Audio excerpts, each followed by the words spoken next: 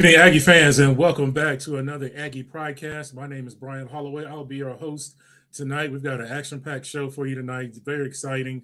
Uh, we're going to bring on North Carolina A&T head baseball coach Ben Hall. Aggies off to a great, great start, off to their best start uh, since they joined the Division One Division One in 1971. Uh, off to a hot start, 17 and seven.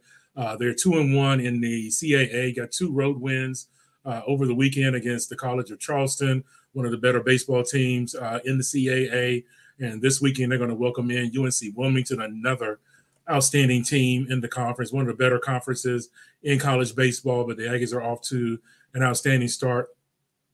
And then we're going to bring in Tawana Tweet Cook, uh, a name from the past, one of the all-time greats in North Carolina A&T women's basketball. She's the second all-time leading scorer, the all-time leading assist person for North Carolina A&T, and her team actually uh, won two games in WNIT in 2010. So we're going to kind of get her memories and kind of get her excitement about what the current team is doing and, and the fact that they could go on to the uh, Elite Eight in the WNIT. Uh, that team went to the uh, Super 16. They beat Wake Forest, they beat Charlotte, and then they lost at Miami. And so, uh, outstanding program for the North Carolina A&T women's basketball team over the last 20 years, and certainly Tawana Cook was a part of that. Probably a future North Carolina A&T Sports Hall of Famer. So excited to talk to her uh, about that. Uh, exciting uh, weekend. Softball is here this weekend as well. They have a doubleheader against Hampton on Good Friday, uh, and then they have a single game coming up on Saturday. So uh, North Carolina A&T softball team looking for his first uh, CAA win, and so we're certainly looking forward to that. North Carolina A&T track and field will be up in Raleigh this weekend for the Raleigh Relays at NC State, and so certainly wishing them the best. Uh, the North Carolina A&T men's indoor team coming off a second place finish uh, in the CAA. Uh, and the women coming off a sixth place finish. And so we're hoping to improve on that. So they'll be in Raleigh this weekend. And then let's talk about North Carolina A&T bowling.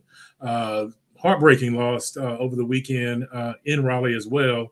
Uh, they missed out on a chance to win four straight uh, MEAC bowling championships. Man, what a historic uh, occasion that would have been. You would have had a couple of young ladies, namely Melanie Caden and Lori Tomaszewski, winning championships all four years when they were here at North Carolina A&T. Very rare, but uh, UMEA, UMEA, UMEA excuse me, Maryland Eastern Shore, Yumi Yumi ES. Uh, certainly, hats off to them uh, for the victory. They they beat us uh, on Sunday in a best out of seven, four to two.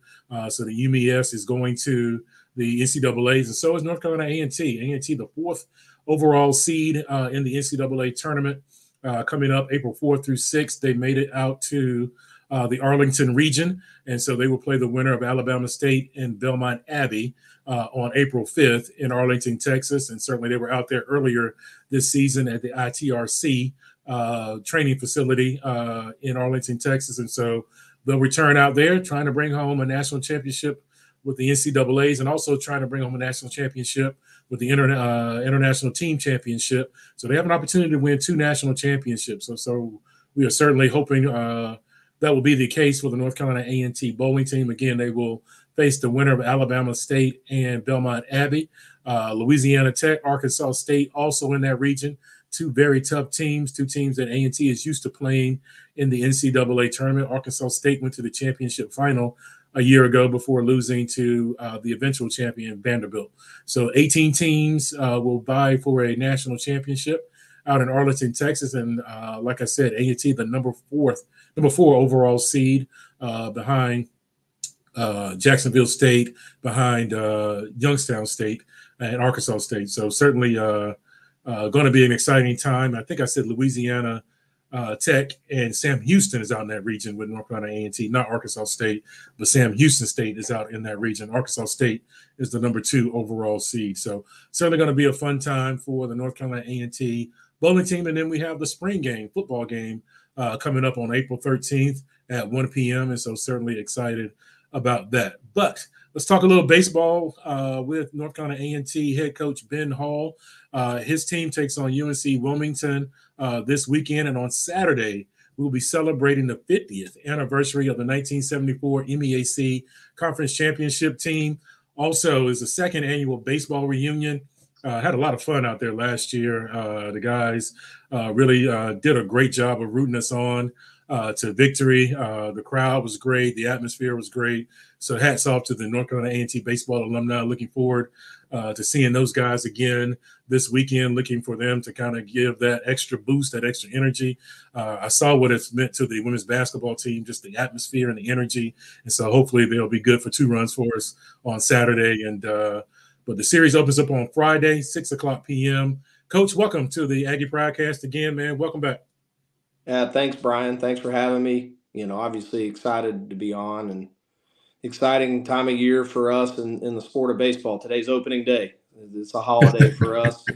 So, you know, we're all going to be huddled around the TV tonight watching all the major league teams open up the season. So, but, uh, but yes, sir, man, excited to, to be off to a good start and, you know, looking forward to a big, big weekend this weekend. Oh, no question about it, man. What does opening day mean for you? I mean, you're a baseball guy. I mean, you you you know, you kind of uh have this in your DNA. So what yeah. uh what does opening day kind of mean for you um when when it comes back around and you know certainly certainly spring training is one thing but opening day right. it's got to be it just, it, it, it is it has a holiday feel to it you know you when you're a kid, you wait all year for Christmas, and you know, and you, you, you, the night before Christmas, you can't sleep, and and in baseball, it's the same way. You spend you know all year, you know, obviously you're a fan of sport and all the other sports, but it's just like you're counting down the days until you know you're able to to get a full slate of baseball on the TV, you know, week in week out, and and, it, and obviously it's the major league opening day. So you know all the greatest athletes in the world the best baseball players in the world all get cranked up today. And so uh, just an exciting time. And then you know for us in college baseball we're, we're over a third of the way you know going to be creeping up on the halfway point of the season here in the next couple weeks so you know it's it's definitely baseball uh, full tilt right now for sure no question about it and uh, let's talk about your team 17 and 7, uh, off to a hot start. Started 10 and 2, then you won two out of three last weekend uh, at Charleston. Uh, what have you liked about the team thus far this season? What uh, what kind of the things that you're looking at that you kind of uh, are smiling at? Yeah, just they well for one, they've just been a joy to coach, and and it really started this fall. Uh, we we you know we we're looking at the roster. You've got an older team and in every program in the country that has older players you, you have different challenges that come with that and and not every team gets it right you know when you have veteran players but you know i think we we started to realize midway through the fall doing some of the things we were doing and and the buy-in that we were getting from older guys who've been around a long time that man we, we got a chance to be okay if if the ball bounces our way, the guys stay healthy and they keep, you know, buying in at the level that they were at the time. And, you know, and you go through your fall period and, you know, you're instilling the fundamentals every, every year the same way you do. But when you have veteran players that have been there before that, that have had failure, but also had success, you know, have had a year's taste of a CAA, and then you're you're implementing some some team things to build team and, and some toughness and some expectations of the style of play you know when you start to see it come out er, as early as it has in the season this year that that's when it gets exciting you know there's a lot of seasons where you're you're spending the first month and a half trying to figure out who your team is and what and what you know what they're going to do and what they can rely on and i feel like this team you know did a really good job you know kind of buying into what we felt like we were going to have to do and really going out and making it happen early and really giving us a chance to to start to see like what our route is to win baseball games, you know, right away. And I think that's been really fun to be a part of. You mentioned the CAA. I'm curious. You play in the CAA a year ago. Was there some things that you learned about the league? I mean, of course, the conversation is always how tough the league is, and then they added Campbell uh, as yeah. if they were doing you a favor. Um, so, were there some things that you learned during that year that you kind of took into the offseason and says, okay, these are kind of some of the things that we are going to need to be able to have in order to compete with, uh, absolutely uh, yeah i mean you i mean it, it, you just when you move up in in in levels of division one baseball and the competition level goes to a fever pitch where you just there are no light days. There are no bad teams. You know, every team is coached well. You know, every team wins in different ways. You know, and and um, I think we found out last year how hard it is to win on the road. That was a big challenge and hurdle we didn't really get over last year. Uh, we found out how difficult it is to win up north in the Northern Division teams. That's something that has always been tough in the CAA for the Southern teams, um, and how to respect every opponent. You know, I think that's one thing our that we we learned really well last year. That you know, you go up north and you think, well, you're a Southern team, we're going to be fine, and then you you find out they can play a really high level brand of baseball up there too. And so, um, you know, the pitch and depth is is is exponentially higher than than you know our program's ever seen. But you know, I do I do think we did things well last year. We were very competitive for the most part, and I think our guys got a good understanding. And and you heard it from them in the off season going into this year. You know, you meet with the players, you have your end of the fall meetings. Like, all right, how you feel about it? And almost all of them are coming in saying, you know, last year it's like we walked into the ballpark. We're like, all right, can we play with these guys? Mm. And then they would get about midway through the series and they're like, yeah, we, we can do this, you know, but you're a game and a half in already. And, and I think they knew with, the, with what we had back and, you know, what we brought in and, you know, the depth and, and the offensive ability that we've had in our lineup with the experience, you know, got guys that have been there before that they're kind of that talk is like, now we know what to expect. Like we're good. We know what we need to do we just got to be consistent and keep growing and, and being in, in, in, a growth mindset every week. And, and then, and then for us, a big challenge, and we did it this fall is we, we need to go learn how to play on the road. And so, you know, when I met with, with Mr. Hilton, I said, you know, we need to travel this fall. So we played both of our, both of our exhibition games in the fall. We're on the road. Uh, we scheduled two more road series, you know, in this non-conference schedule to really challenge our team um, to get on the bus or get on a flight and go into another park and play in somebody else's you know home setting and figure out how to do it better than we did last year. And i think we've we've passed you know that with flying colors so far been really excited to see the kind of the fruits of that labor a little bit. Let, us stay with your off season a little bit uh, because you come off that caa year like you said you guys played some really tough games against some really tough opponents then you lose your your pitching coach, a guy that you've had for a very very long time. So that's yeah. got to be a transition for you. Uh, you lose Meacham to the uh, MLB draft uh, as well. Uh, what were kind of your your your thought process as you okay as we build this team?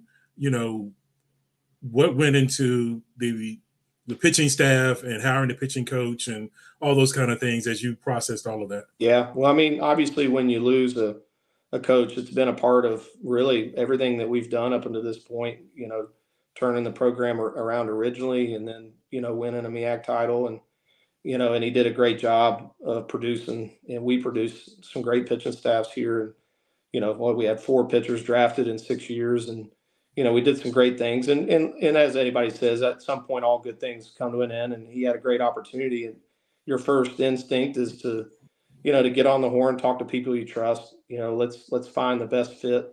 You know, both in what you want to teach and what you want to preach on the mound, and as far as your pitching staff as a whole. You know, and but also get um, you know a guy that fits. You know, in in in a sense of um, you know, staff dynamics relating to the guys, you know, and I think when when Forrest came about, we talked about it as a staff with Coach Allred, our current staff that was here already, and it was just a slam dunk. You know, the guy he he had spent some time at at Savannah State in his career, um, worked under uh, one of the best pitching coaches in college baseball at Middle Tennessee State, and and he he had already had an opportunity to run his own pitching staff at Eastern Illinois, and which was a regional team you know, and it's like, man, you know, here he is, a young guy. He knows what he's doing. He's ran, he's run a pitching staff that's pitched in a regional already this past year, and so it's just been a huge fit. And I think, and I think he's he's meshed really well with the guys and um, has brought the right uh, temperament in the in the way he goes about his business and what he's teaching and asking of the players. Um, and so I think that's been a great fit, and I think that's why we're seeing some guys do do so well right now for sure. Um, but I think you know a big tip obviously goes to the players. You know, when in this new era we're in, the transfer portal, you know, uh, late junior college recruiting, transfers, you know, it, it is a wild west of. It's like a big sprint during June and July to figure out, you know, what your roster is going to look like, and we've just found a. We feel like we found a good niche for us, and what helps us as far as that transfer market. You know, we haven't had much success in the Division One portal, but we have had a lot of success finding some junior college guys that have been lost in the shuffle, and and some of those guys have made have already made huge impacts in in, in this year. And so, um, and then I think the last thing pitching wise is just for us to be really good at, you know, don't not trying to put a square peg in a circle hole. You know, let's really sit this fall. You got a new pitching coach. You got new. Everything's new. Everybody starts fresh and let's see what this pitching staff develops into. And um, they've done a great job, and and it's different. You know, we don't have a an Evan Gates at the end of the game where you just you know you give him 15 games and he closes 15 games. You know, I, but I think we're a little deeper and we have a little bit more ability in some other areas that you know maybe last year we were kind of stuck with using one or two bullpen arms in certain you know um, opportunities. And and right now it's you know I'm able to sit in there with Coach Arnold during the game and like, you know maybe it's maybe it's important we use Angel Ortiz in the sixth, you know, or maybe we move a guy and use him later in the game. It's just about you know putting the guys in the best position for them to be successful for what they bring to the table and and then continue to motivate them to grow and get better you know week in and week out all right give some shout outs here warren mitchell big baseball guy played baseball back in the 80s for North Carolina A&T. Warren, we need you at the baseball games to do your booth thing that you do at the basketball games. But uh, Big Warren Mitchell, shout out to him. Lonnie Shaw, another big baseball fan uh, from North Carolina A&T. Love the walk off. I don't think it was Robert Morris. I think it was George Mason. Different name, you know, uh, George instead of Robert, but uh, still a big time blast by Michael Logan. That was fun uh, to watch. Kermit Jimerson, looking forward to the William and Mary series in Williamsburg, Virginia. Looks like he's going to check you out up there, coach. Uh, and then Amos, uh, loving the War Boys. That's yeah. the name just catching on on FloSports. So uh, we call it the War, the War Boys, man. But uh, certainly thank you for listening, uh, Amos, man. Hopefully you can catch us uh, this weekend, Friday, 6 p.m. start against UNC Wilmington, Saturday, 2 p.m. start, and then 1 p.m. start on Sunday. let's you talk about the transfer portal a little bit and throughout college athletics, I think the prevailing notion is that you you have to be experienced. Like you, the days of kind of taking a young team and and trying to work with those guys are kind of over, and you really need to be older. Is that the case in baseball? I don't want to make an assumption. Is that the case in baseball? Because I look at Negishi, I look at Logan, you look at Brown. These are all old Coley, uh, Kilpatrick. These are all older guys uh, yeah. uh, that have been around for a while. Yeah, I mean, it, it definitely I mean, it's it obviously is hitting every sport a little bit different, but you know, yes, college baseball is older than it's ever been and more experienced, and and I think you know, ever more important is for you to do it the right way in your program. You know, and we are benefiting from you know our best players being loyal to our program. You know, we didn't we didn't have any of our best players go in the portal this summer, and they stayed. Wow. And they, wow. they they stayed loyal to what we're doing and and I respect them for it, and and they're getting the benefit of it, of you know the positive side of of not getting caught up in you know looking for the grass is greener because you know you you play well enough.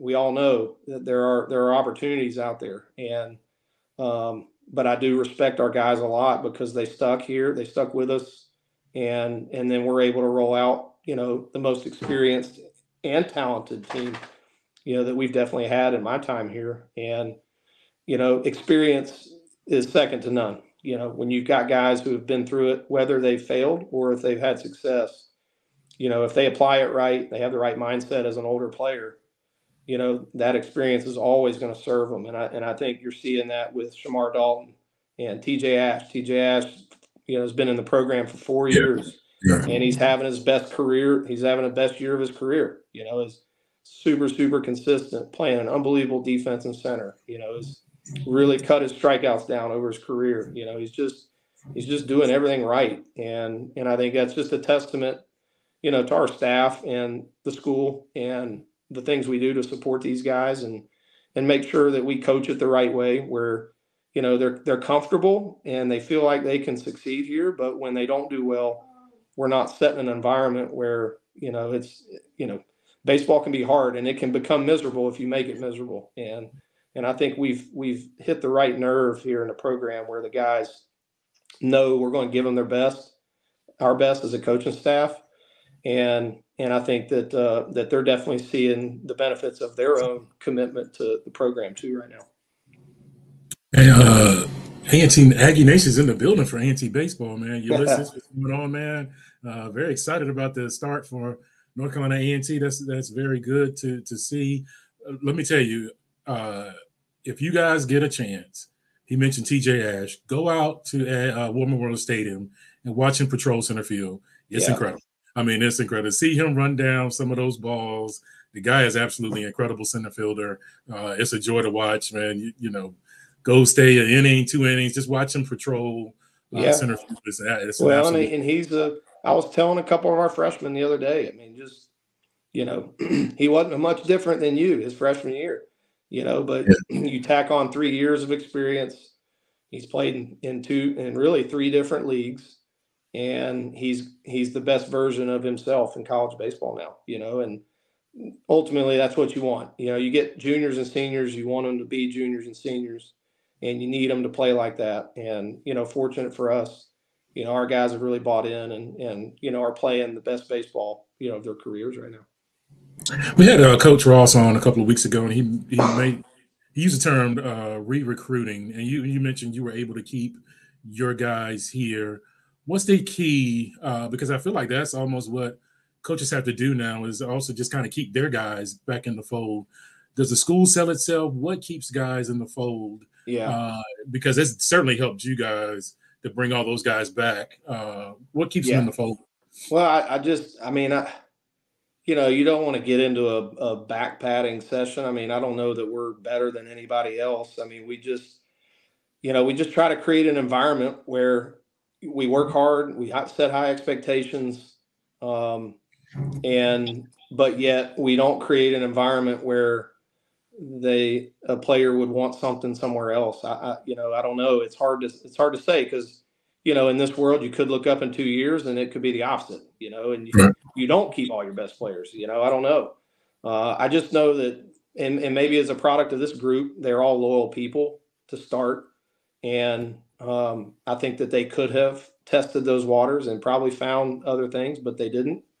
And and I think a lot of it just has to do with, you know, and, and every player is different, right? Every player is, is, you know, it's all an individual decision. Um, but I think for us, it just boiled down to, you know, how we create the environment we create at the field every day. And they felt like, and I think our guys continue to feel like it's the best environment for them to be their best, you know and it, it, would be too much risk to try something else right and so and the great thing is for us it's proven to be a success you know and if we weren't playing good baseball if the guys that came back were not doing well you know you might be looking at a different story but i think it has set a good tone for our program going forward that you know hey uh, you know my name is kenyon brown i'm one of the best catchers in the country i can come back and still accomplish all the things that that some people out there think you got to leave to do it. You know, he's doing it here and he's going to accomplish great things. You know, he's getting a ton of looks, got a chance to be a high draft again this year. And, you know, he didn't have to go anywhere else to do it. You know, he's just got to continue to grow and be his best, his best player. Yeah. And you've had some guys that have gotten some great notoriety uh, coming out of HBCU. You think about Cam Jackson, you think about uh, Xavier Meacham. Some of these guys have been on big stages. And like you said, guys have been drafted out of this program. And so certainly, you know, Kevin Freeman, I think about, and uh, uh, some of those guys uh, yeah. in the past that have come out of this program. And so certainly it's a place where you can be seen and you can get a lot of great looks. Uh, yeah. And I think in, in baseball now, the way the, the draft is in professional baseball, you, you got to go and you got to put up the numbers. It just flat out like it, you know, it's so, it's so based on analytics now the the teams are all based you know so much on on stats and you know uh, models and different things like that that look at statistics and you know, if, if you're in the CAA, I think the CAA had 13 players drafted last year. The uh, the third baseman at William and Mary was a was a comp round or second rounder. So it's like, where else you need to be, right? If you want to you want to get drafted, you want to get your best look, like play right here in the CAA and put up the right numbers, and and you're going to get every opportunity. So. Let's talk a little bit about the season. You guys have been great on the weekends at home. I mean, they're absolutely uh, outstanding, and uh, we had a lot of fun at George Mason. They, uh, you know, with the walk off uh, home run yeah. and the comeback in the in the eighth inning. I mean, uh, a lot of great things have have uh, turned well. And you guys went down to South Florida, played well down there. let me ask you about Coley Kilpatrick. Yeah. How important has his Friday starts been for you guys? And I kind of you know he's kind of a favorite, so I'm gonna ask about him because he's one of my yeah. guys. But uh, but how how important has his Fridays been eating up some of those innings? Yeah, kind of resetting your bullpen a little bit. Well, you, when you when you're going through and you're trying to figure out, all right, how do we build the rotation? Who do you pitch when? And you know, coaches all have different ideas on it. You know, you're well, you're going to play on Friday. You're going to face the best pitcher in the conference. Do you do you throw off on that day? Do you do that? And I've just never been a big believer in it. You know, and I went back, to be honest with you, I went back as we thought about building our rotation this year to 2018 when we started Tim Luth on Friday night. And Tim was was the most reliable person you could ever put out there. The team believed in him. He didn't have the best velocity, but you knew what you're going to get every week. And the team could count on what they were going to start every weekend with. And, and I think Coley has just he's that same guy. He's a throwback type pitcher. Um, he's tough. He's got a super, super competitive edge to him. Um, you know, he's got his own persona and and the guys rally around him. And then you're like, all right, well, what better way can you start a weekend series with your most arguably your most competitive guy um, who's going to get up there and just he's going to give the whole kitchen sink to the other team and see what they can do with it. And and I think this year is a true benefit from last year. Again, you know, he he he kind of got roughed up in some outings last year and, and had to, you know, really think about and work at what he's got to do to be better this year. And so, you know, there's just another tip on, you know, trust and experience and, you know, and then not getting caught up in velocity or, you know, what metrics say. Like he's just competitive. And so we know it, you know, going out tomorrow night, he's going to be hyper competitive. He's going to he's going to throw strikes. He's going to throw competitive strikes. He's going to mix more than one pitch in the strike zone, and he's going to give us a great chance to win. And so um, the team rallies around that. You know, they love him, and they obviously have his back. And and I think that's why you've seen the performances we've gotten, you know, this year from him, and, and we'll continue to get from him. Great, great young man. Great, great young man. Yeah. No problem. Uh, let me ask you about another guy who's setting the table for you like a maitre d, man. Uh, Shamar Dalton, 20 yeah. straight games. Uh, he's reached base safely. 13 game hitting streak. How important has him has he been to the top of your lineup? Just kind of getting that offense cranking a little bit. Well, I think uh, Shamar is another great example of a guy who same story as TJ. Like you know, didn't play his freshman year, you know, didn't play much his first year, but through his career started to figure out, you know, who he was as a player. And I think he really embodies what we preach offensively here. You know, um, he's a tough out. He he's never throwing a bats away. Uh, he bought in. We've got a two strike approach that we put in here, and it's mandatory. Like you either do it or you don't play. And he is one of the toughest outs I've ever seen. You know, and he just he's got a knack for setting the tone. I mean, that Sunday game at Charleston, we spent all BP batting practice trying to get these guys ready for a lefty who was going to mix in the zone. That that's a tough matchup sometimes when you got a lot of lefty bats in the lineup. And we really were working hard to get them ready. You know, lefties, you got to stay on the ball. We got to work oppo. Like this is an adjustment day. Like if we don't make an adjustment, you know, we're going to struggle to hit this lefty. And then he goes up there and just whacks the ball first pitch of the game opposite field. Exactly what we were preaching. And, you know, when you do that at the top of the lineup and you are a tough out, you know, he's not going to get a hit every time, but he runs hard. He's playing the best defense of his career. You know, again, it's the same thing as Coley. Like, can you, if you're the first guy off the bus, you got to set the right tone for the team. And and he does a great job for that. Uh, before we get into the weekend, I want to ask you also about Nagishi. Uh, yeah, man, he can hit. Uh, you know, he's not the speedster. You know, I've, I've you know seen around the base a couple times, but man, he can hit the baseball. Uh, how important has he been? Uh, you know, graduate transfer. Uh, but how important has he been to just the middle of that lineup? Because man, he can put bat to ball yes. like nobody else. Well, nobody awesome awesome story. Like uh, midsummer, talking to a coaching friend of mine. Hey, I got this kid's going in the portal, and you know I trust you, and I you know I know he would hit for you if you get him, and and I was like, all right, like we'll take him. Like you know I trust him. He he's he's like good kid. All he wants to do is hit. Like that, he's just like born to hit, and you know, just there were some scenarios at, at middle where he wasn't going to get the at bats that that he would potentially get for us, and um, he's just awesome, man. Like it just, you know, you talk about a kid from Tokyo, Japan, who mm-hmm. came to the United States to chase his baseball dreams, right? And you know, he's been living over here for eight to twelve months at a time on his own, and just just lives for baseball. I mean, this guy takes, you know, 200 dry swings a night in the parking lot of the hotel. I mean, mm. like the bat is in his hands 24 hours a day, and you know, and I, I think he, he does. He's he's got bat to ball. He lives for baseball. You know, he he he is an unbelievable defensive first baseman. For sure, the best I've ever seen.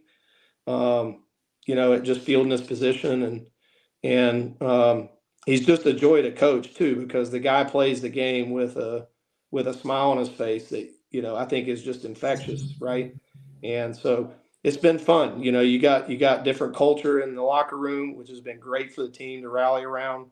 You know, there there are things that we learn about his culture and the things that he does in baseball, and you know, and it just adds to the experience of obviously watching him play well, but but also to be around you know a different brand of baseball. Right? He had a different baseball upbringing than any of our players currently had, and um, and he's just been he's been a huge asset for sure, and he will continue to be. He's he's a tough out. He's going to hit some home runs. He's got home run power, but you know he just he just is, has a knack for getting hits. He he doesn't swing and miss a ton, and um, and he's fun to watch. He he definitely is a fun player to watch. Talking to North Carolina A&T head baseball coach Ben Hall. A few more shout outs here. Uh, Hans, uh, thank you for listening to us. Another War Boys reference from At Roy, so uh, that, must be catching on. Shout yeah. out to the to the War Boys, no question about it. Ray Lenny uh, gives a go big Aggie, so thank you for watching. Uh, Ray, appreciate it, man. And Steve Duke, another uh, another Aggie. Um, just uh, wishing you guys all the best. Uh, love to see the thank love. You. Thank you. Baseball, they absolutely deserve it. 17 and 7 two and one in, in, in conference play. I feel like I could talk to you all day. I love talking baseball. It's just absolutely uh, a wonderful sport. Let's talk the weekend though. Uh, yeah. You second annual uh, baseball reunion game coming up. Uh, you're gonna root. You're gonna celebrate the 1974 uh, MEAC Conference Championship team. I think. Uh, yeah. see the sign there. Uh, let's talk a little bit about the history of A&T baseball. Is, is fascinates me because when I when I look into it, so many guys from here played in the Negro leagues. Uh, you guys went back to 1939 to kind of do some retro. Such yeah. a rich history uh, of A&T baseball. Probably playing it here at A&T probably more than 100 years. Uh, how important is it for you to kind of look into the history of the program yourself and also kind of get the guys to understand the rich history of, of, of A&T baseball? Yeah.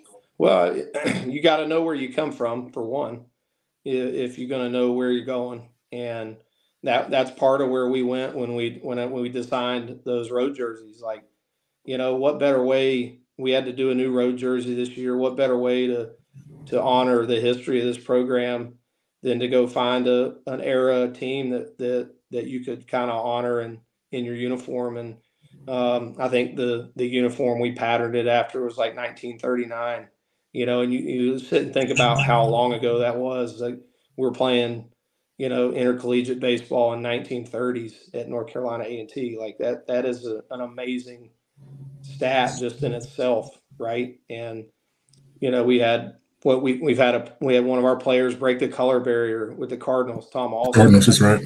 some just amazing, amazing figures that have come through, you know, this program, and we'll get to honor some of them this on Saturday. You know, Al Holland Senior, and you know they'll they'll talk about Mel Groomes and the years he coached here, right? So, um, you know, I think baseball is America's pastime, right? And you know, as as important as all the other sports are, you know, baseball people are very loyal to to baseball, and and so it's important because again, like as we grow, we obviously don't forget where we come from, uh, but we also are have been blessed with unbelievable opportunities that I remind our players every day. You know, you, we're in one of the top conferences in college baseball, and I could go talk to ten alumni right now that played in the '90s that would give up anything to play in this league right now and this opportunity that our guys are blessed with right now because you know we get to go out every day on a huge platform and play against the best and and so you know i think when we wear those road jerseys i told them you got 100 years of you know support in this jersey like let's, let's go play better on the road this year. And and and i think it really resonated with the guys and uh, no better time to to reflect on it and honor some guys than this weekend. Um, you know to see you know those guys come back to the park and you know relate with each other have fun talk eat some good food and you know and obviously cheer the team on see if we can't you know get a couple big wins against you know a traditional power in, in the caa uh, friday at six uh, saturday at two the guys will be here having some fun you mentioned good food uh, it's Aggie land, man. There's always going to yeah, be good right. food when they when they fire up the grill, and and uh, everybody's always welcome, and all that good stuff. And then Sunday at one o'clock, come out to the ballpark. These guys were great last year. The atmosphere uh, during that uh, reunion uh, last year was absolutely great. Uh, you know, I think it really had an effect on the game. Uh, talk about the importance of these guys starting this up and making it an annual event. Talk yeah. about the importance of that for your program. Well, I mean, you want to get as many people in the park you can. You know, I mean, I'll be the first to say, like, this team's good. They're worth coming to see. And but uh, but you also want to continue to give your alumni an opportunity to come back and to to connect with each other. And um, you know, Joe Hill was a big part of helping get that thing together last year, and and and and is helping with this. And um, hopefully, we can get you know our first pitch banquet back up and running next year.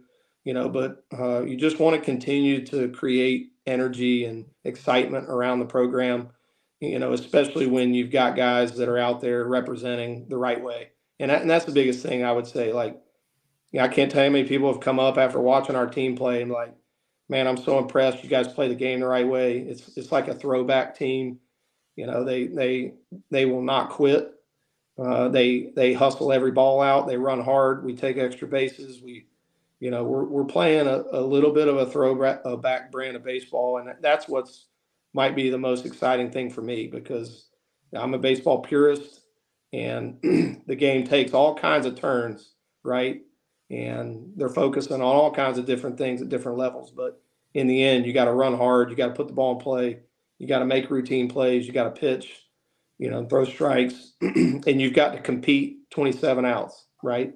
And I really do think that that's been a huge part of our success. We've got you know, 30, they got 36 guys. We got a nine man lineup that's going out there. And, you know, even Tuesday night, I can tell you right now, you know, as that game got away from us in the middle of the game, we got a little out of character. We didn't make plays and pitched a little loose in the middle of the game. But they did not enjoy pitching to our lineup. That's a, our lineup's tough to pitch to, and they they compete. And I think we had five or six at bats of 10 plus pitches of guys just fouling pitches off and finding a way on base, and and that'll be a key for us this weekend. We we get bases loaded. We got to cash them in. You know, we can't leave runners out there. We got to finish those innings. But uh, I think for me, it's a fun brand of baseball to watch. Yeah, somehow we had a rain delay. The bases loaded without rain, but yeah, Brian Holloway said that not a little bit. but uh, certainly uh, tough game up at UNC, uh, but they played uh, played very well and uh, certainly uh, got off to a great start up there. Shout out to Stephen uh, Haylard. He played on that 93 team uh, cool. that I believe beat Carolina. Uh, Milton Stats, uh, you know, said we have a talented club. So thanks for listening, Milton.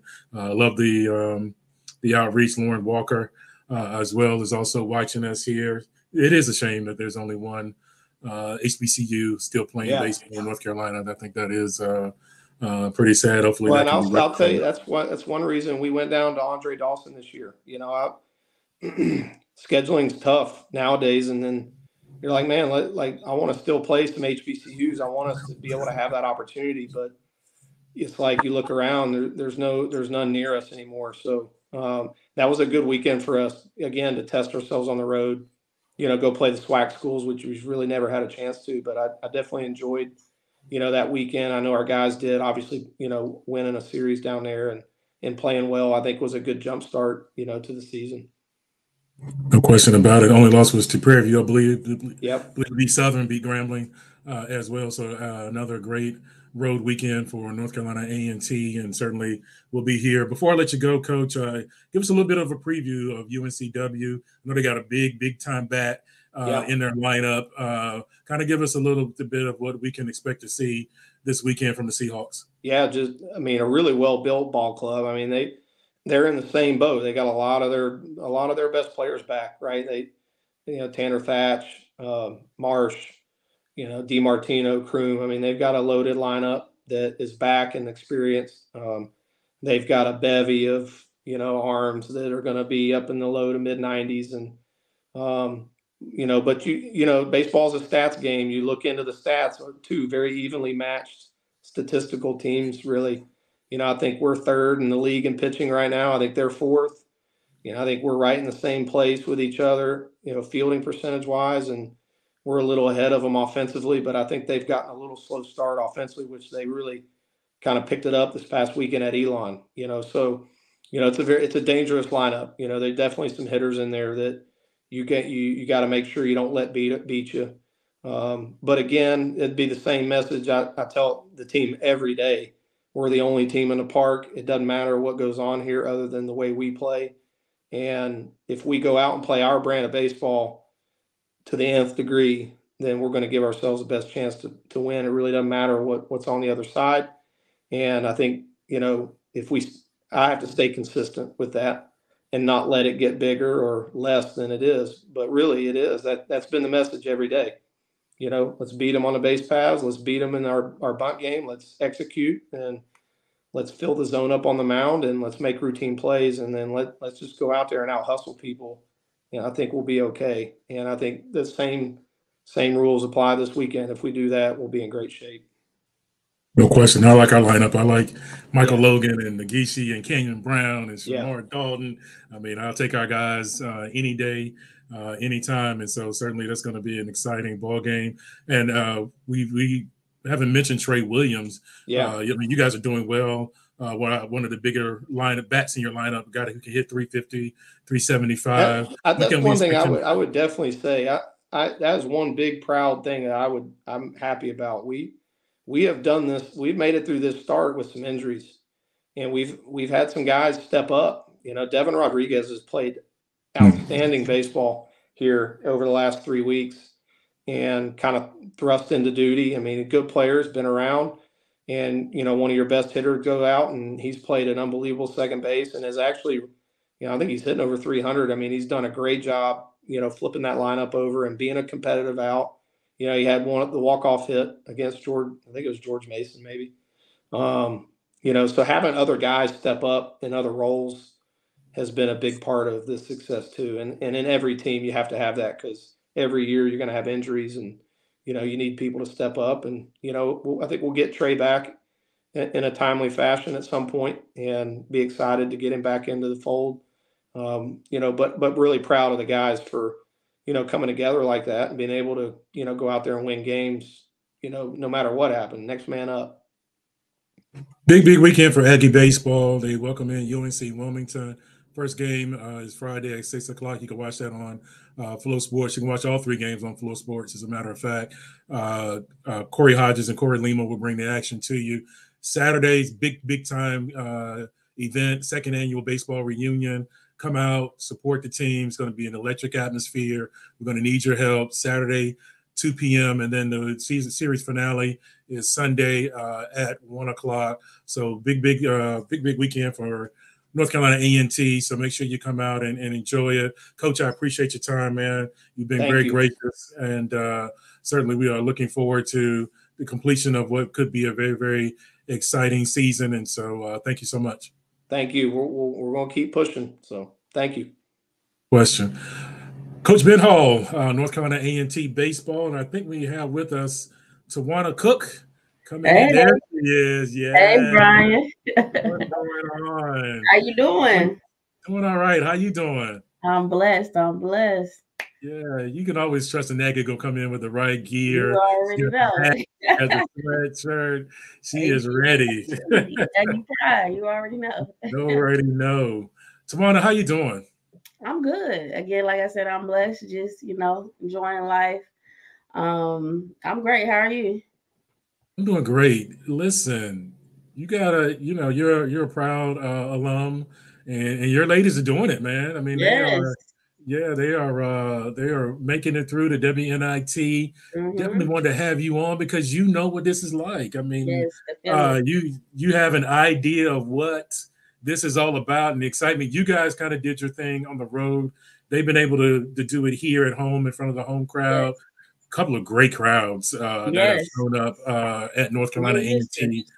Yeah, no question. And, and Aggie Nation, if you're out there, you guys have done man a bang up job.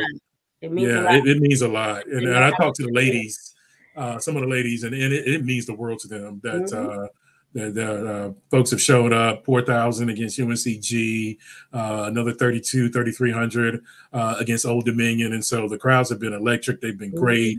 The fans have just been like They always show up. The Aggies Yeah. always show up. It don't matter Yeah. on the road. We always show up. Always show up. Uh, but I, I feel like this has been a different kind of crowd. Like they've just kind of been energized. Yeah, Uh, they changed it and- to club forward. See, when you know when I was there, we was the dog pound. They changed know, it. right. Yeah, no question about it. Uh, so I, I wanted to, you know, take you back about 14 years. Uh, you know, it's been hard to believe it's been 14 years. I know, I know, I know. I think about that. Yeah, like that's crazy. But you guys, your your circumstance, you guys lost in the tournament like this team, but you guys were the number one seed. yes, Uh, and I think it was South Carolina State that upset you in that in that first last round. Mhm. Yeah. First of all, talk about that moment a little bit because I think these ladies didn't quite know if they were going to make it postseason, but you guys pretty much knew as the regular Yes. season champions that you were in, correct? Yes, yes, we did. So um we already had that like you know when you finish well back in the day in the MEAC, um when you finish in your conference or you're the conference champ, if you do not make it or get the bid to the NCAA, you automatically get a WNIT bid. So we knew that we were kind of disappointed, and I think because okay, so you know since my freshman year we were winning, so that was in our first go around. I remember I cried like crazy the first time lost. And I was like, what? And then we went to the WNIT, and then so it's like I kind of already knew that. So my senior year when we um lost, um, it kind of gave us motivation because we knew we shouldn't have lost. So the biggest thing is like, even though we knew that wasn't our goal, but we was like, okay, well, we still can make history because that was our biggest thing, especially like with Mona, Nuki, Shantara, Lanice, um, even G, because G came in kind of young, Jaleesa Sams. Um, our biggest thing was making a name for ourselves after my best friend AB, my sister, and uh, Brittany Taylor James. Because you know everybody was like, "Well, what they gonna do? What are they gonna do without Amber Bland and Brittany Taylor James?" yeah, So yeah. that's why we wanted to come back strong um, our senior year, and uh, we won the conference, and we really had high hopes. Um, I think if we would have just got past that game, we definitely would have won another, you know, MEAC tournament. But you know, eh, things happen for a reason. God still blessed us, and we made history, making it to the Sweet 16.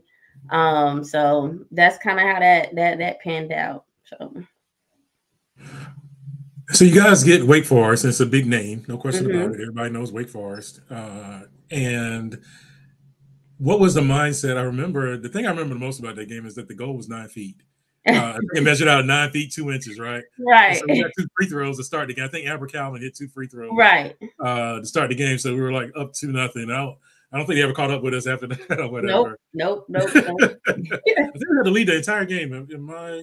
hmm I think, I think we, think we had the lead in. Yeah. Um, yeah, we were just on fire, and I forgot about Amber Calvin. That's my other little sister from Vietnam. Um, she, I mean, it's because she wanted to come to A&T to play with me, and I think it kind of broke her heart. Um, that you know, it kind of we we kind of just lost that momentum that we had at one point. Like we just automatically knew we were gonna win. We didn't have the big head, but we were just like, this is this is our this is what we're destined to do. This is our goal. We got it. I mean, everything is in line. We have everything we need to win. So I think that motivated Amber too, because she went crazy in the tournament too as well. So it's like when we got there and we weren't scared outside of us just making sure we knew we had a new goal set.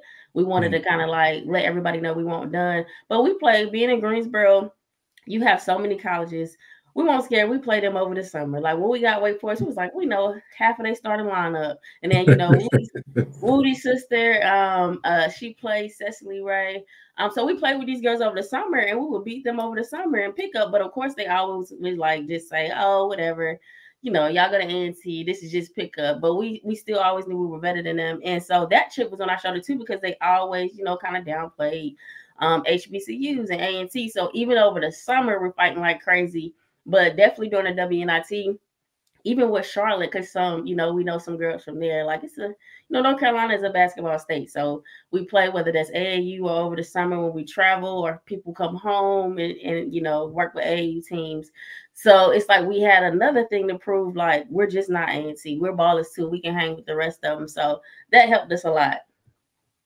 No question. We're talking with Tweet Cook, Tawana Cook. Uh certainly one of uh, this is actually really fun for me because you get the chance to watch some really really talented players and you, you get to cover them over the years and i gotta tell you like you were one of my favorites because i don't think i've ever seen anybody with a basketball in their hand as fast as you that could go from one end of the floor to the other yes. Yes. as fast as you dribbling a basketball i mean it was absolutely uh, amazing to to watch.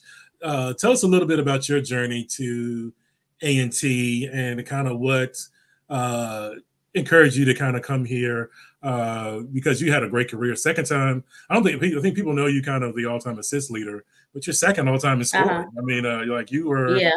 the ultimate combo guard. Uh, I think you yeah. moved to the when Amber came in. Uh, so, uh-huh. talk about your journey here to to A and T. Um, well, in fact, I, I, grew up in Fayetteville, North Carolina, and I started off in track. That's where that fastness came from. So track was my first love, but um, I fell in love with basketball as well, playing in the neighborhood, and then I got into AAU and things. So it was always track and basketball. So around my senior year, I had a you know few scholarships for track, like the UNCW. They were a pretty good track um, program. Um, and then I had a few for basketball, but what got me to A&T was Coach Rob. He's from Fayetteville. He calls me hometown.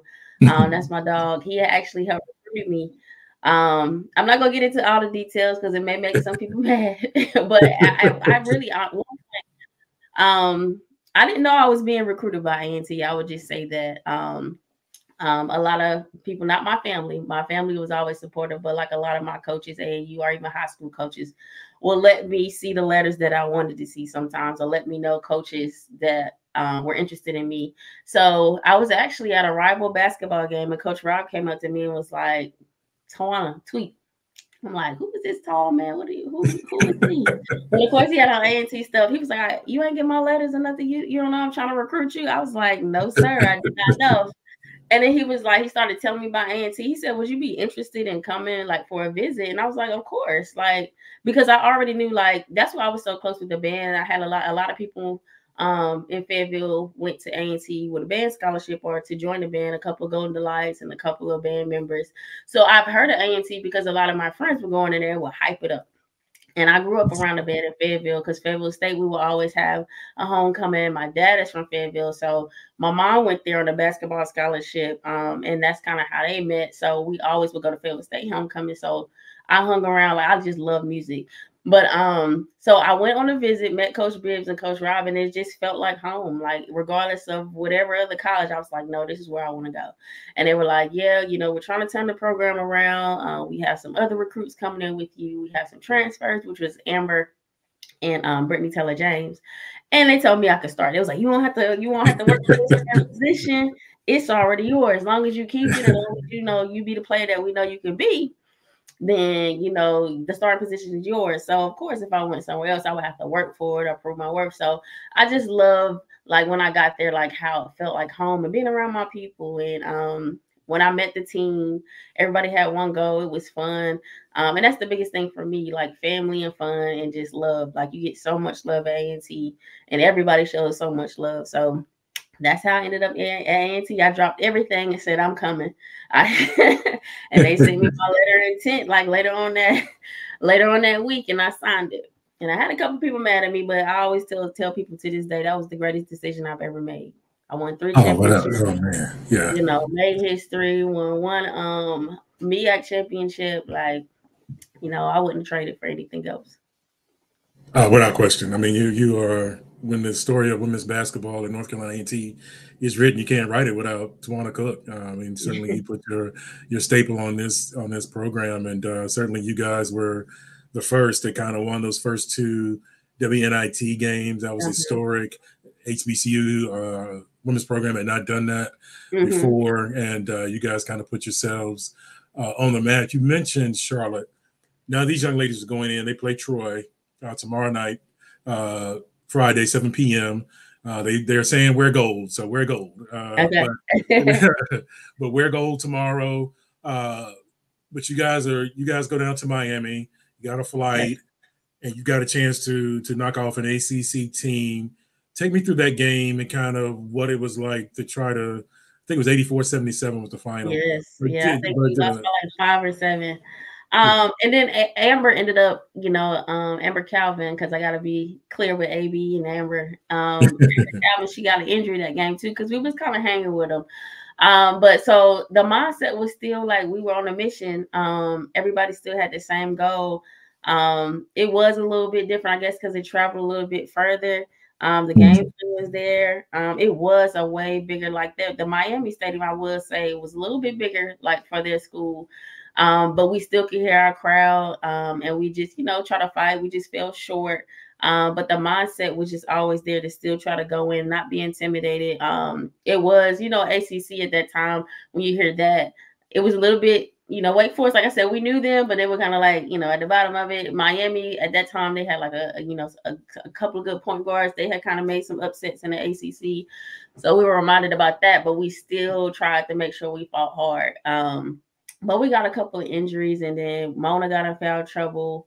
Um, so I think that kind of played a part, but we we we did what we could um, to make sure that we gave it and left it on the floor. Um, and I mean that's all we can you know ask for. I wish it would have been a different outcome because we just you know we was just on the road getting so much praise and just it was a new experience too. Like just to be able to travel, um, you know, further and play different teams that we always wanted to play. Um, because you know at A&T sometimes it was hard to get the teams that you wanted to play. Um, so that was my first time in Miami, so I enjoyed that. Um, and of course, I knew a couple of people on the team. Um, so it was just a great experience. It was a great experience. No question about it. Yeah, what sticks out the memory in my head is Amber went down, Amber Calvin with an ACL, Mhm. which was people don't know. Like she had one in high school. That's what was so Uh-huh. Uh about that. Uh, that she went down with the the another ACL injury, but fortunately she was able to come back and play again Mhm. uh, a little in her A and T career. But uh, yeah, that was the tragic part about that game. game, Brian. She was, to- was like, no, she was trying to hop around, and she was, she, no, you gotta sit. Like she, I mean, she still scored like until we finally told her to sit down because she was trying to hop around. It wasn't until after the game we knew she tore it because she's still trying to play. Yeah, and I remember Jaleesa had a good game. For some reason, I remember Yeah. she she scored a lot of points in Yeah. that game. Uh, and she had a pretty good game, but uh, certainly was a it was an outstanding run. Patricia Cage Bibbs uh, was the head coach, and uh, certainly it was an outstanding run. If you had advice for the young ladies for tomorrow, knowing that you guys were trying to get into that that uh, that elite eight WNIT, what would it be? What would be what would be your Um, advice? The advice I will uh, be like I would give to them is just to stay coachable and to stay together. Um, I do recall um, that Miami game. Um, some of our bench players kind of fell apart along with us, like you know, like clashing heads, and then we got it back together because I think we were so a little bit got we started getting nervous and scared. But if we would have kept our composure like we did for um, the Charlotte game and for the Wake Forest game, um, we remained calm and played our game, we would have been fine if we would have listened to the coaches, which we did. But you know, of course, when you're on the court, you like, you know, coach, no, you don't see this. The coach is like, no, we do see it. so it's like trying to battle that. And of course, as a point guard or shooting guard and as a leader, I had to be that one to kind of bring everybody back because I understand what my teammates were saying, but I also understood what the coaches were saying because I was always like the middle middle person. So although you do see different things, but you got to figure out how to make it come together. So I think if they remain coachable and then they also still stay true to them, play their game and stay together, they won't have any issues. Because I think that's what I because I you know I've been paying. I went to the one game, but I watched one online. Um, and I just noticed that they kind of keep their composure and they listen to coach and they look at coaches in the huddle. When they zoom in in the huddles, you see them looking. So um, we all need each other. So it's not going to be coaches versus players. It's not going to be players versus coach. It's the team. So um, I think if they do those two things, they'll be fine. Outstanding. Lead eight, that's right. Talking to Tawana Cook has been a pleasure. Uh, all the memories yes. are flowing back in my head. I know. Uh, and Brian, he was always there with us. He was always there with us. Uh, uh, James Sparrow. uh, James Sparrow with us. He's a A&T Sports Hall of Famer. Many people consider him the best men's basketball player of all times. And uh, yes. certainly when you uh, you think about A&T women's basketball, you think about the Angela Hills, you think about the Brittany Taylor James, the Amber uh-huh. Blands, uh, all those all those folks uh, that, that, were outstanding. But you got to put Tawana Cook in there. Have you ever thought about yep. that? Don't forget A&T Sports Hall of Famer. Have you ever thought about that? yeah, I'm a, I'm a, I, I, I, everybody always say they call me Hall of Famer and all that stuff. So I mean, we'll see. I mean, when A&T is ready, you know, I'm ready. I was certainly those jackets, Mrs. Sparrow. I see y'all at all the games and stuff. Y'all have the jackets. Um, Miss Johnson, you know, Samara Johnson, she's always supportive um and stuff like that even when i was there because we're both from fayetteville like alumni like we we really truly love you guys and that's what makes us give back too because we saw the love and support um so we tried that's why i loved when jaleesa was still coaching and stuff um, I got into education, so I thought about coaching, but um, I ended up going the teaching route. And now I'm a principal, so I still kind of advise and help um, the young the young people. So um, you know, one day if I can get one of those Hall of Fame blazers, I definitely would appreciate it. so put in a I I think all you gotta do is apply because the numbers are there, no question about okay. it. The numbers are there, the championships are there. Uh, no question about that. And so uh, you are like uh, you are truly deserving of it. I think all you have to do is put your name in the hat, and I think uh, you know that's going to happen uh, yeah. for you. You mentioned being a principal. Take us through what, what's what's Tawana Cook doing now? One of the best point guards in in school history. Uh, what what is what is she up to now? I think you have a you have a, a grad degree. I mean, a, a PhD is. Uh-huh a, so yes. you're a doctor. So I have, right? I have, well, no, not doctor yet. Um, I, I was about to do my doctorate, um, but then I got into a program. Well, let me back up. So um, when I came back from overseas, I went to um, back to A&T um, and got my master's in teaching physical education while coaching at Bennett College, and that's when I, you know, was loving coaching and stuff like that. Um, at that time, Coach Bibbs kind of recommended me because um, uh, Coach Williams, I don't know if you remember, he kind of coached with us for like one year, and he went over to Bennett College, and he was looking for an assistant coach. And at the time, she um, had all her coaches, so she was like, you know, why don't you go over there and you're in school. Um, so I tried that out, and I loved it. Um, but when I started teaching, I was still coaching at Bennett. But then um, my love for students, I kind of got swayed. It Like people were like, you know, you're you're really good, and you're a really good leader.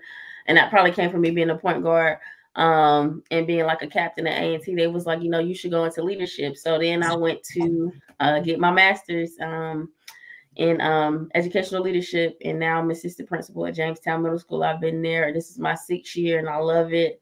Um, just impacting not only students but adults. Like you know, still kind of instilling what I, I, I got at A&T. Um, we're a big family. Show love. Um, it'll always come back to you. We have a lot of Aggies in the building um, at um, Jamestown Middle. Uh, every homecoming. I mean, every Monday is college Mondays at the middle school because we try to be a college going culture. Um, so we all Aggied out, but during homecoming week, it's definitely always. I have students that come. They be like Aggie Pride, Miss Cook, because. I'm like, of course, Aggie Pride. So you know that's how i ended up becoming a principal and i love it i love it i love impacting and helping um you know shake the world um i also help out with our basketball team i can't coach because that's um just a part of my position because i have to maintain the building but i'm at practices i'm at every game i'm coaching them girls and boys um, they come to me. Sometimes I leave and go talk to them on the sideline, like I'm the coach. That's it, right? Uh, so I'm probably the only principal that do that, but I just got to do it. yeah, system is so proud, so proud. Uh, Thank you. Yeah, got your your education at A and T, and mm-hmm. went and got a more uh, uh, grad degree and, and all those kind of things. And you are the epitome of what it means to be a student athlete. And I think people really love hiring student athletes because of their commitment, because they know yeah. they're going to put in 100%. And uh, certainly that was what you did here at North Carolina A&T. And so uh, no question about it. And uh, certainly hope to see you in the building tomorrow, uh, yep, 7 o'clock yep. start. Uh, we're, we're excited. We want to you know, I think the goal is five thousand. You know, yeah, I'm being there with my goal. Now you tell me to wear gold because you know I wear gold. They, they tell me that's what they that's what I'm reading online all day is to wear gold. So okay, uh, make sure you, make sure you have your gold on, and you know you have your your cheering and get yep. your voice ready. You know, uh, Troy's going to be a very uh, tough opponent. They like to get uh-huh. up and uh-huh. down, and so you know we we're going to be uh, going to be a tough one for us. But uh, I think Aggie Nation is worth about ten yeah, points. I'm telling you, uh, it is. It's going to help. It helps. It's going to yeah. shake them too because it gives us momentum. Yeah. Um, and one thing I miss is the band. I have not seen the band at the game, but like I'm telling you, when we heard Smash, that uh, uh, uh, uh, uh, like before every game. Yeah. Uh, so yeah, but I know it's. I think they got Aggie Fest this week, so I don't know. Maybe they can't, but um, but the girls have still been hyped. So the crowd, we definitely like if we show up, I think it, it definitely help the girls. It definitely give us an extra 10 points. Yeah, no question about it. No question about it. Shout out to Bruce Jenkins, another A&T Sports Hall of Famer. Uh, Aggie Pride, back to you. Bruce. Aggie Pride. Uh, no question. Uh, hoping to see to see everybody. Maybe come in from out of town. If you can't come in, FloSports uh, will be the option. Arlene Mitchell, Donald Ware uh, on the call tomorrow night. Uh, I just want to ask you before I let you out of here, man. You think about, uh, you know, this is going to be the good old days too. When we're going to look back on this team and and really consider how great it was. Uh, the April McCray teams were uh-huh. outstanding. You know, no question about it. Uh, Channing Scott, her, her teams was uh, outstanding. But when you think about yes. those uh, those teams with Amber Bland and Brittany Taylor James and all those kind of things, those memories, uh, great, great teams. What comes to to mind? uh, Lamona Small, I can't forget her. She was uh, yeah, oh, Philly, uh, yeah, uh, as well. Uh, what kind of what kind of comes to your mind when you think about those things? Um, just family, like it just just family. Like A and T is really a, even alumni. Like it's alumni that I still talk to today. Um, but when I think of team like those girls, like it was just family and love. Like if we all had one goal, we all had a mission. Um, and I think like it has helped us, you know, we still got a group chat, even if we don't talk every day. If someone has a baby or someone, you know, has a major accomplishment, we just shoot it in the group chats, even if it's like two months or a month later and we all celebrate, like, yeah, that's cool. Or somebody gets married, we all get invited. Um, but the first thing that comes to my mind is I would say blue and gold family. Like those are my my family for life. Even the people like I still like Brian. You see when I came in, I, I smile from ear to ear. Like it just brings you so much joy because it was a time to be alive. It was a great time. Like it was, it was a great time. A great time. I think when I got there in 2006, from 2006 to 2010, I'm trying to tell you, it was a great time, and everybody was family. You can go to Miss Wallace, like she was instrumental in, in, in there, like you, like even the twin Darlene, I remember seeing them when they were seniors, and then they still came back, and that kind of helped me want to come back. Like it just you just don't want to leave that place. So it's like it's family. Yeah, no question. I saw uh Tracy King up at the tournament. Uh she played oh, yeah. basketball here, and the Tracy Hughes, I believe, is now. Uh-huh. Uh, all these last names have changed yeah. uh, over the years, but uh, uh-huh. you know, and she mentioned uh, she was 32 years old. It just for one, it makes you feel old, but two, it makes you feel proud to see them doing well. She has a uh-huh. child, a baby, uh, and so you know Mhm. it's just like wow, these, these kids grow up. You see them mature. You see them go from young freshmen to mature young women, mature young men, and uh, it's just a joy to watch. And it's just a, like you said when when I see you and I see uh, when Amber came back for the Hall of Fame, Yeah. Uh-huh. smile because uh, Right. you know it's just absolute family. Uh, you, you were together for four years, and you got to know these young kids, and to see them grow into uh, outstanding uh, members of society. Man, what else more could you ask for? So, Yeah. uh, yeah, thank y'all because y'all y'all give us that you know that that hope like y'all seen a lot in us that we even sometimes didn't see so just you guys been around them and you know just just just motivating us and just showing us so much love and just letting us know that you can do this and looking up to us as a higher standard um it really pushed us so we thank y'all too like the staff there um and just yeah, y'all are a big part of it too. So we appreciate y'all more than you know. Well, thank you so much. Tomorrow problem. night. Yep, tomorrow, Pat Corbett, Club Club Corbett. one of the uh, greatest players in North Carolina A&T history. I think she's going to be in the building. We need about uh, 4,999 more uh, in the building. Right. All day long. Uh, you know, we're, we're excited about it. The tickets are selling fast. Get in, get in quick. Uh, Troy is the opponent, 7 p.m. Friday. Wear your gold, all that good stuff. Be excited be amped. It's going to be a great atmosphere, and we'd love to see these young ladies. Uh, we we we love to see that Tawana and her group made it to the to the Super 16, and hopefully they can go even further. And that's Yes. what it's about. Just continuing to grow, Yes, continuing to get better, and uh, we're we're all rooting for you guys tomorrow night.